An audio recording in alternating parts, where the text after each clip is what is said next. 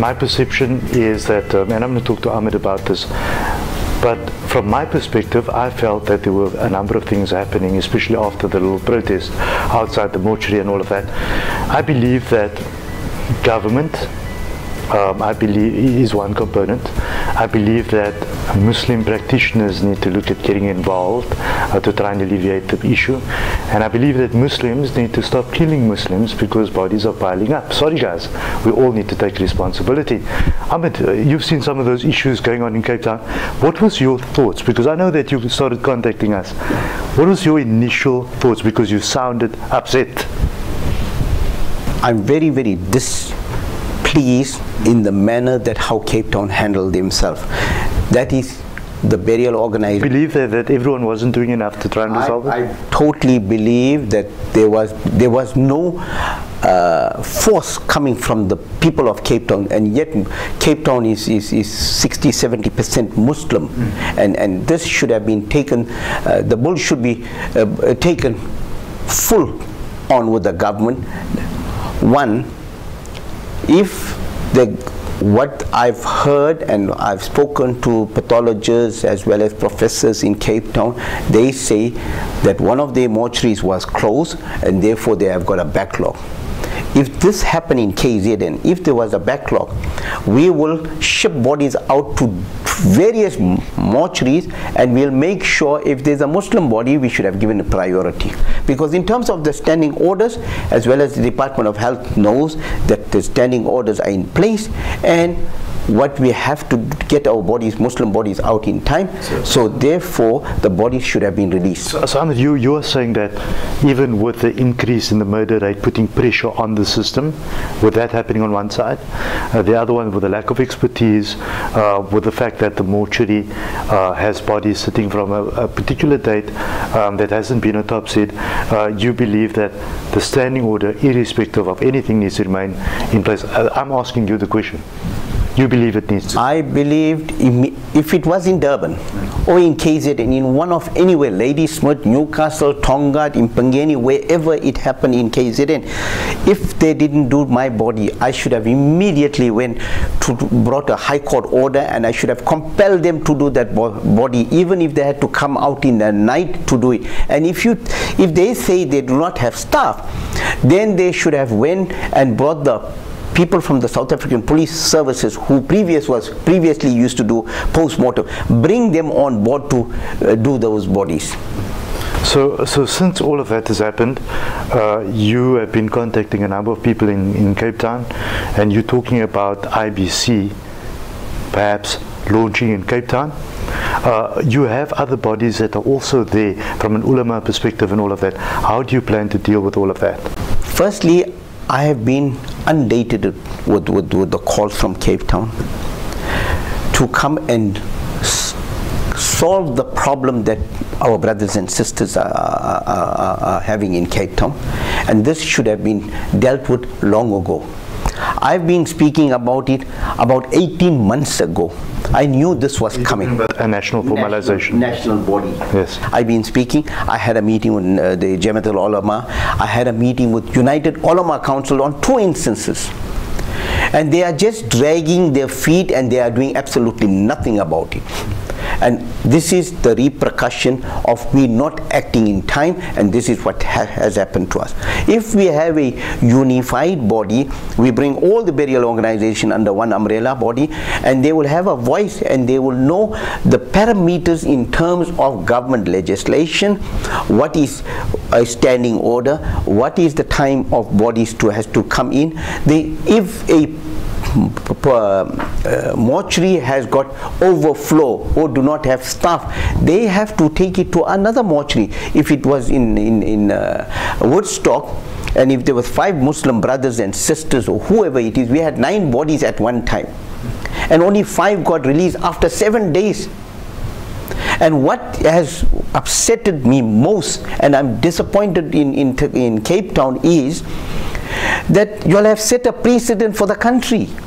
We, I have been, and the whole country have been fighting to make sure that whenever a post-mortem is, if the body comes in, in within the prescribed time, the post-mortem must be done. Or the next day. Even if a body comes, today is Saturday, if the body comes on a Saturday evening after 6, Sunday by latest 10, 11 o'clock we got our body, we buried by, by the afternoon the body is being buried. So Cape Town has not done that. They should have put pressure onto the government, the Department of Health, the South African, um, the South African Department of Health, and they should have put pressure on it. In terms of our standing orders, they should immediately, we should have brought a court order and we should say, no, this should have been done. One of the, the, the, the key aspects is that what I perceive from our brief meeting before the show is that it appears as if you are raising an army and marching to Cape Town and saying it's time to do this. I'm not coming to Cape Town because of to come and fight with anybody in Cape Town. Neither, I only do whatever I do when it comes to, for the last 25 years I'm doing this work of deen, for burial, is purely for the sake of Allah. I cannot see my brothers and sisters in, in post, uh, post-mortem is not done for seven and nine bodies, seven days and eight days later. It's not on. I have a question around this. And I, I think it's maybe a question that was lingering in my mind as I, I started sort of getting involved with, with the mortuary issue. And that was uh, that if the murder rate does not come down, I don't see it coming down, uh, while Mr. Zuma does what he does and everyone's doing, that's wrecking the country up, uh, the crime rate is not going to fall. If that doesn't happen, what is really the hope? I mean, we're talking about X-ray equipment coming in and all of that, but is that not is that not a side issue to the fact that that it's perhaps time to have a national formalized approach to what we're doing from a burial point of view. Um, and then on to top that all off, you as IBC seek engagement with current bodies on the ground that's already there that can be usurped or dealt with um, in a cooperative manner. Because I think while you, you're doing what you're doing, it is my opinion that cooperation on various levels is imminent. Islamic Burial Council, we've been talking to the United Ulama Council. We are saying to them in no uncertain term, it is high time you need a national body, so you read from the same page and talk from the same line. And you got people that who engages with government. We shouldn't have been in this dilemma if we had a fully fledged body. Furthermore, I don't think some of our uh, people are running the burial in Cape Town, they know the actual law to go to court and bring. And we got a lot of attorneys in Cape Town, advocates here in Durban. If I press one button, every one of them, attorneys as well as advocate, they do it absolutely free totally free they won't charge you one cent they will go bring an urgent application absolutely free. So th there is people in Cape Town have phoned me. I know lawyers attorneys advocates they said you know what? Are you ready? I said I'll draw the papers in Durban. You just you go only uh, and, and, and take it through to court. They are all ready to do that it didn't happen. They said no no tomorrow it will be done. Tomorrow tomorrow and tomorrow tomorrow it six to eight days is not on. And my suggestion is the time has come not only in Cape Town all over the nine province a national body must be formed in Gauteng. We have already started the ball rolling in Gauteng. They have already got the structures in place. We are in early uh, January. That structure will be in place 100%. Uh, Cape Town, we need to start formulating this, this system of how KZN. KZN is a model for the country. If the Cemeteries Association of South Africa found it fit and saw, and the Pan-African uh, Pan-African Cemeteries Associ Association had a meeting at the, at the ICC for five days. And when I did my presentation, they actually just said, you know what, we have come to somebody who knows the burial industry in terms of Islamic law, in terms of Islamic uh, law, in terms of um, government legislation, what is the uh, and don'ts, all that was put into place. And furthermore, if we are not going to start acting now 2019 is 2019 is around the corner we're not going to get what we want to get in terms of cemeteries as well KZN we have got Islamic Burial Council as I said to you earlier in 1998 we had only eight cemeteries today IBC Islamic Burial Council has got 20 cemeteries of the eThekwini municipalities state cemeteries, we are the custodians. So we can bury 1 o'clock in the morning, we can bury 10 in the evening. So we are, the idea behind in having a unified body is to be controlled by ourselves. We must be able to be, we must be able to do things what we want to do. Don't wait for the state. State don't have monies. They haven't got monies to even put an x-ray machine in Cape Town. They don't have even, it took me two and a half years to find the Department of Health in Gale Street mortuary, one of the biggest uh, forensic mortuary in the province in KZN. It took me two and a half years fighting them and eventually I got the state of the art x-ray machine put on there. Before we used to ship the bodies to various hospitals to get the x-rays done. So you have to be behind them. So if you got a body fighting all the causes for the, our Muslim brothers and sisters, you won't have this problem. I mean, going forward, uh, I know that you're planning to come to Cape Town, you're planning to talk to people about what you want to do. Who are you calling on at the moment and what you require from them? My aim and object is, firstly, I want to talk to the Muslim burial services that's your undertakers. All the undertakers. Bring them on board. Get the consensus from them. What is the pitfalls we have in Cape Town? Where is the grey area? How can we solve the grey area? You're not only referring to the mortuary issue, you're talking about the generalized, issues and challenges that yeah. Yeah. That's the one aspect. Then the other aspect is cemeteries as well. Because eventually you want to be... Seven years ago, we in South Africa we were 1.5 million Muslim in South Africa. Latest statistic Muslim in South Africa is 4.2 million Muslim because of all our brothers from brothers sisters are here from Burundi, foreign nationals are here in the country from all over the world. They are here. For greener pastures they are here. So we have to give them a dignified muslim burial. If you are a muslim our right is to bury him as a muslim. So we have to do that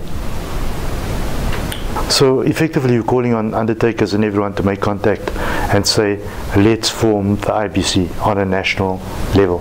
And I think you stated clearly why you want to propel that on a national level. Um, my thoughts, uh, uh, as a side matter, is that um, I, I, I do believe that I think that there are structures in Cape Town that maybe needs to be co-opted or dealt with. However, putting everything in perspective, it is my opinion uh, that when a person or an organization has a specified expertise, then I believe that our existing organizations must also co-opt these organizations to say, deal with this on my behalf. I can manage it from, a, from, an, from an overall perspective, but I think that it's an expertise thing.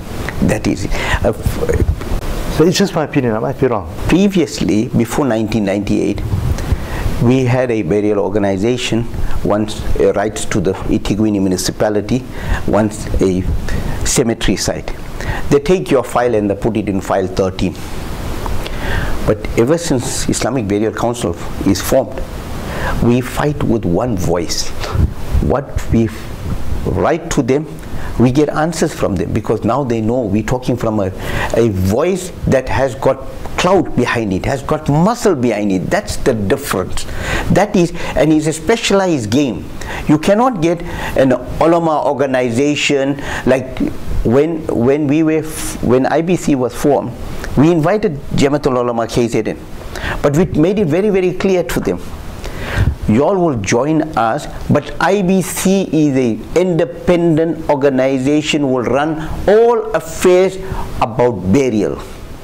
So that makes it easier but they work very closely with us very close. If there is any anyone goes to them on any rulings or anything about burial immediately they divert it to us. They say speak to IBC and they they link us up to and we write back to them. We said so and so came to us under your auspices they wanted that that information there you are and we email it through to them that is the difference because it's a specialized field you cannot do uh, the ulamas cannot run burial masjid madrasas various other uh, institute it's impossible. This is a specialized field and you're dealing with government all the time. Government legislations are being changed. You, you will find recently uh, they are going to do eventually they are going to do away with, with the post-mortems uh, in, in, in, in, in other words by opening up the body they're going to bring a state-of-the-art machine from overseas which costs in the region of between 5 to 6 million the MRI machine in, in, in Bradford in, in the UK has been already in place so they have already did the test. In fact, in January, inshallah, I'll be going down there to see how that model works. But what we did, 10 months ago, we have already put in place the wheels in motion. We called in the uh, AMAL, all the lawyers association, lawyers and advocates. We call IMA, all the doctors. We said, we had a meeting with them. A full house, 50 odd, uh, together we were 50 odd, including the members of Islamic Burial Council, the doctors, the uh, advocates and the attorney. This is what we want to do in terms of legality. From the doctor's side, the pathologist side, we had a top forensic specialist gave us a talk on it, how we can circumvent and we can get our body within 10 minutes 10 minutes. 10 minutes. That's phenomenal.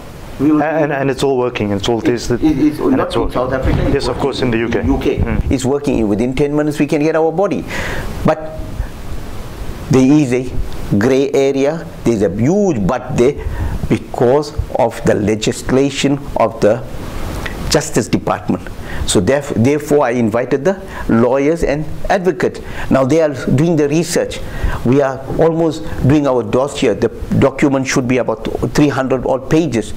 Legality in terms of they have to give case reference and everything else.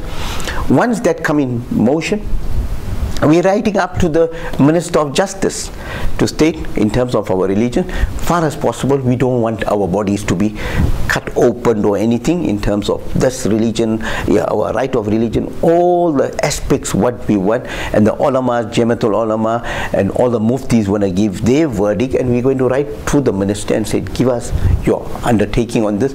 Will this hold in the court of law? Because if the court of law does not hold the uh, uh, MRI scan, and then we have a problem.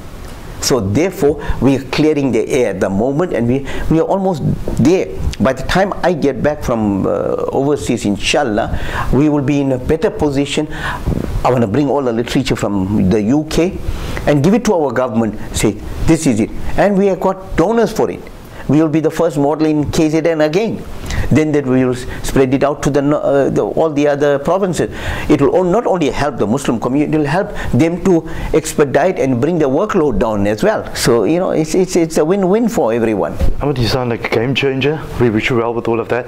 Um, looking forward to catching up with you in the future again to find out how things are going and see how we can support what you're doing. I think that uh, it's, all, it's also important from, a, from an overall perspective uh, that when somebody calls for unity on some level or the other, it needs to be supported. Uh, we need to, uh, it's my opinion that, that as a community, and we don't need to be rocket scientists to think about this, that we need to move away from anything that disunifies us on any level.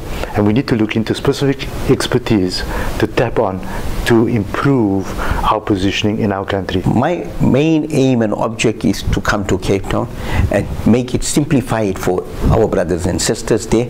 And whatever Allah blessed me with a little bit of knowledge in the burial, I need to pass that knowledge on and make it easy. If we can win here, we can win in Cape Town and we can win all the whole country we can win on the same issues and we will be able to make it easy for everyone. That is the thing. And I'm solely doing it for the pleasure of Allah and nothing else.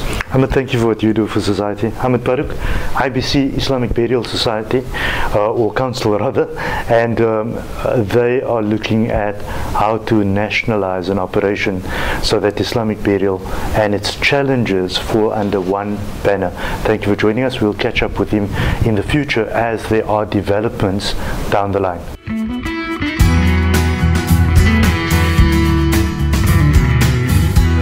Recently, we've been all talking about the mortuary issues and the backlog that's going on, um, especially in Cape Town. So, one organization that is central to most of these operations is the MJC. Uh, the Deputy President, Sheikh Riyad Fataar, is with me, and we also share friendship. And Sheikh Fataar is also a presenter at the Deen Channel. And I thought I'm just going to catch up with him on a very off the cuff discussion uh, within five minutes to find out what's the latest and where are the current challenges perhaps sitting. Sheikh, if you can perhaps look at that.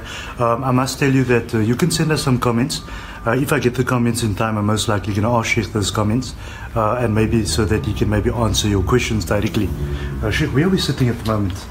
بسم الله الرحمن الرحيم الحمد لله رب العالمين والصلاة والسلام على أشرف المرسلين سيدنا ونبينا ومولانا محمد وعلى آله وصحبه أجمعين رب اشرح لي صدري ويسر لي أمري واحلل عقدة من لساني يفقهوا قولي السلام عليكم ورحمة الله تعالى وبركاته to all of you.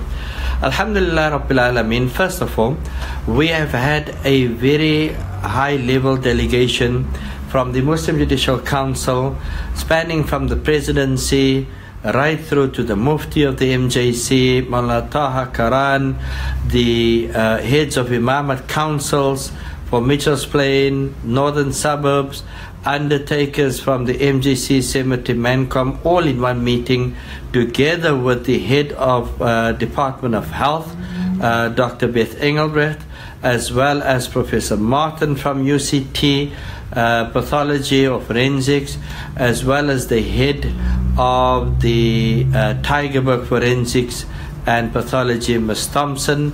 All of that being led by the MEC uh, for health. We've had some robust discussions. We were serious in the in the in the discussions that we had. Uh, at times, um, I think it, uh, probably myself more. Uh, we got a bit um, heated because at the end of the day, we want to. We are not there to say that the government is looking good. We are there to say that a service that has been provided funds way before 1997 has been provided, we see that service slipping away. And when that happens, then people like ourselves, when the community jumps up and we that are in the cemetery business, MJC is in the cemetery business for probably what, 50, 60 years. Where we are sitting today is but where we've taken up from those before us. So when we see a service like that that has been entrenched in the Muslim community, where we see um, that even in 1997 there is a document from the then police commissioner Kulti uh, because mortuary was under the uh, uh, uh under the SAPD at the time, giving a, document to say that Muslim burials should get that priority, and it must get that priority, and him intention that in a document on the 8th of August 1997. Then in 2006, the Department of Health takes over mortuaries, and um, they continue with that service, with that uh, uh, uh, prioritizing of Muslim bodies for autopsy and so on. And here the MEC for health came in very nicely, I must say. When she said, while this had been uh, uh, Uh, uh, the Department of Health has not been responsible for the previous agreement, but because this is there, you can see this as a policy, whether it's unwritten but it is a policy. common practice all the time. That's it. Yeah. It's been common practice. So therefore, how are we going to deal with that? The Department of Health and, and so on, they have come up and says, look, we are under resourced, we can't manage anymore. We have indicated that's not our problem. Sure, I, I, have, a, I have a question at that point. Uh, to, just to, to go directly into something, and that was that one of the viewers asked a pertinent question and I think he's sitting in, in Venice at the moment.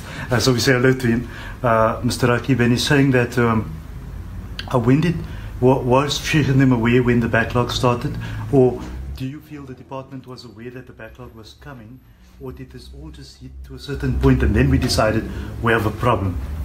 From my point of view, and the department can speak for themselves, uh, my point of view is that this was poor planning. Poor They must have seen this coming.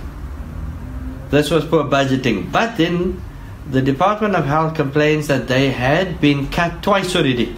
But they're also talking about the budget increase in the There mortality rate. There is no doubt a sharp increase in the in the gangsterism, the shooting and things. And don't make a mistake, we're going towards December again.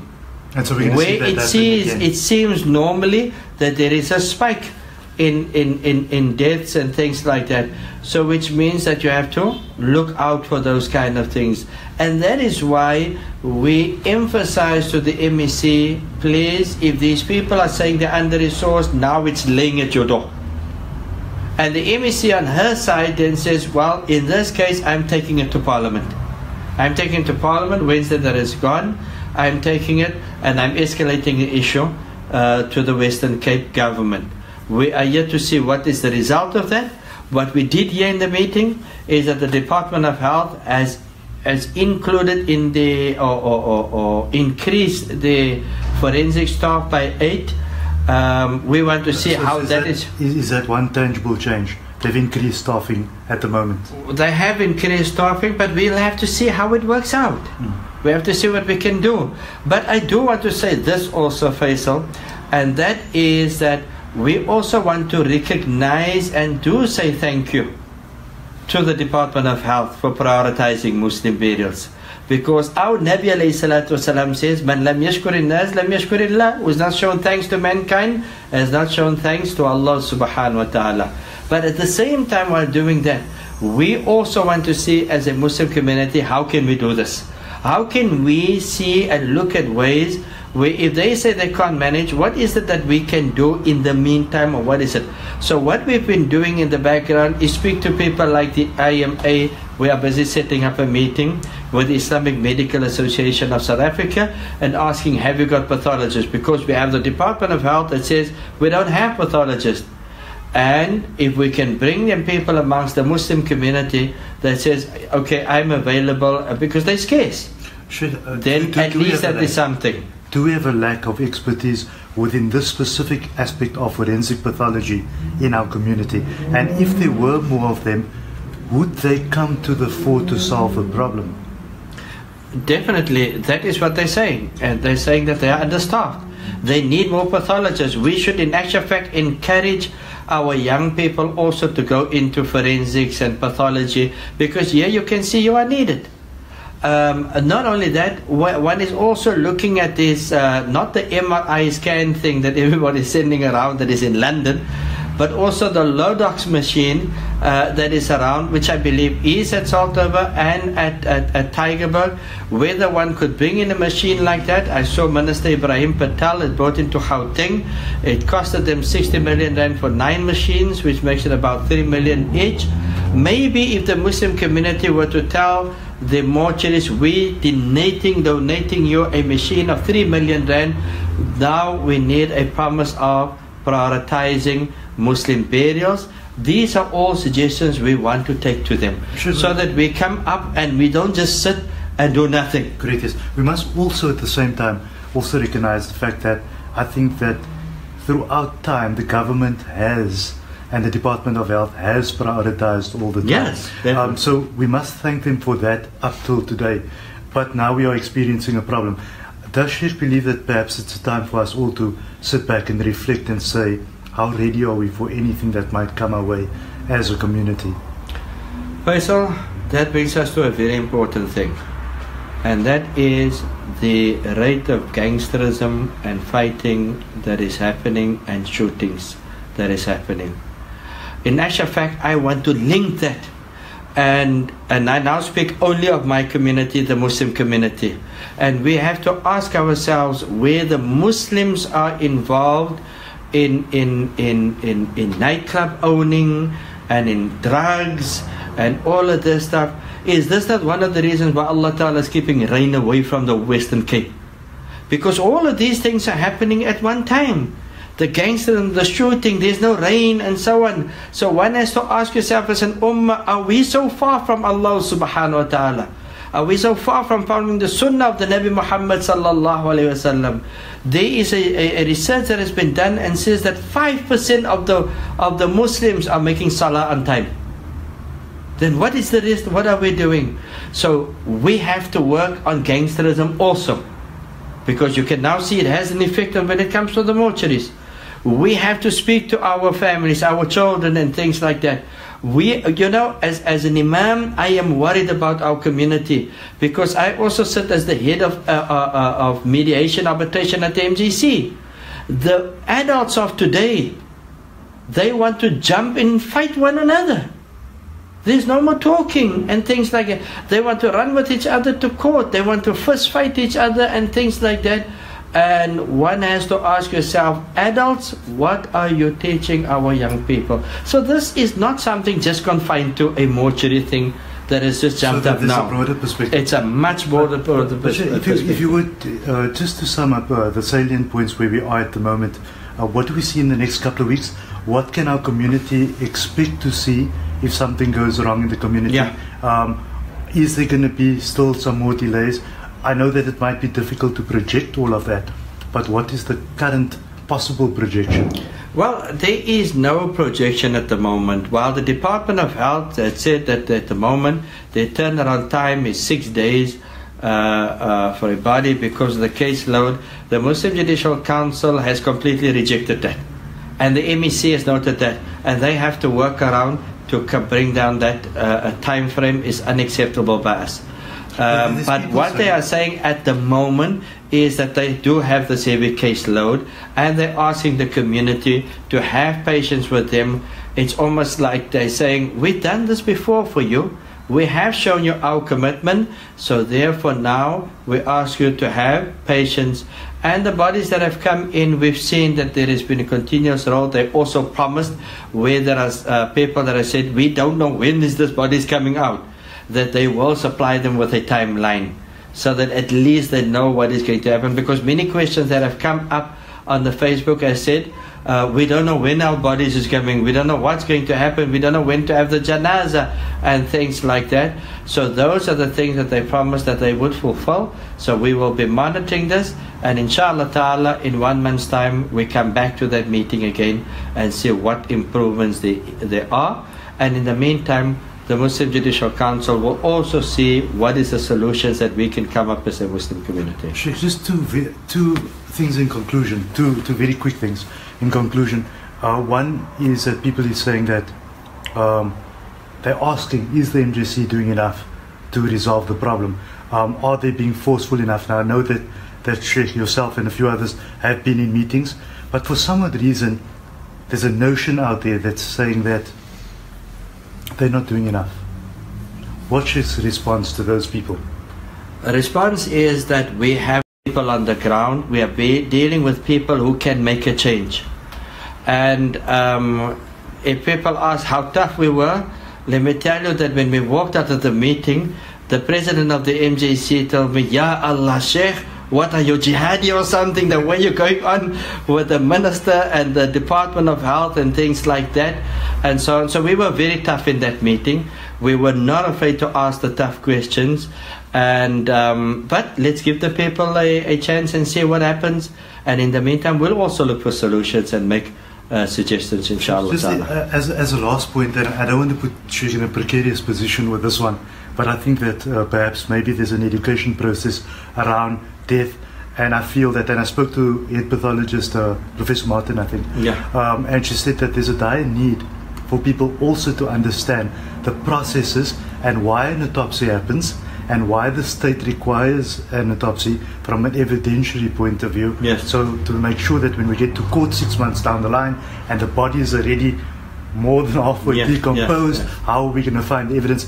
So that needs to happen. However, the question I, I want to pose, just in conclusion, is that we find a situation where we look at the rulings what is the actual, actual bare skeletal ruling that can either accommodate the delay or not accommodate the, the delay from a Sharia perspective? Look, from a Sharia perspective, eh, so the Sharia do uh, acknowledge and allow where there is criminality involved that um, if a post-mortem or an autopsy needs to be done and the body needs to be put into a fridge, that that is not considered as dishonoring the, uh, the sanctity, the of, sanctity of, the, of the body. Mm. And where the post-mortem needs to be done, then Islam and our Sharia says it, if it's something that needs to be done because a crime has been committed or something to that effect needs to be found out, because then it has to be done. But you uh, you cannot come back six months later and find out that post-mortem has not been done and people want to go to court and things like that and then we have prevented that from our point. Islam doesn't Islam is a practical religion. Islam would allow for an autopsy to be done, inshallah ta'ala. Thank you, Sheikh. Um, we hope to catch up with you soon again uh, to find out if there's more uh, changes, if the situation changes, and if there's any developments. However, I must state that I think that when we as a community go into any issue, I think that we must try and perhaps separate the issues, and that is that perhaps the answer lies in a collective answer, hmm. and that might be the community the ulama, the expertise, and perhaps people sitting on the side that maybe can offer solutions. I, I don't think that we need to get into a finger pointing situation in any situation. Um, I don't know if she just wants to comment. I, I, I think that, that it's important for the community where they think that they have expertise and they want to offer expertise and things like that, or offer advice to come to the MJC. We have not had uh, uh, uh, one person. We've had many people that have contacted us, doctors, pathologists, um, business people that have come up with advice. So what we are saying at the MJC, we are open. Come forward and speak to us, inshallah ta'ala and we see how we can work together and how we can find solutions for the benefit of our community. There is not one person or one organization that we had said, listen, sorry, we're not interested in you. We are the kingpins here and we're handling now. Wallahi not. Not at all. We have welcomed everybody that has come forward. Thank you, Sheikh. Well, uh, we hope to keep you updated soon as we go along. If there's any other information that comes forth, we'll put that through. Thank you for joining us. Goodbye.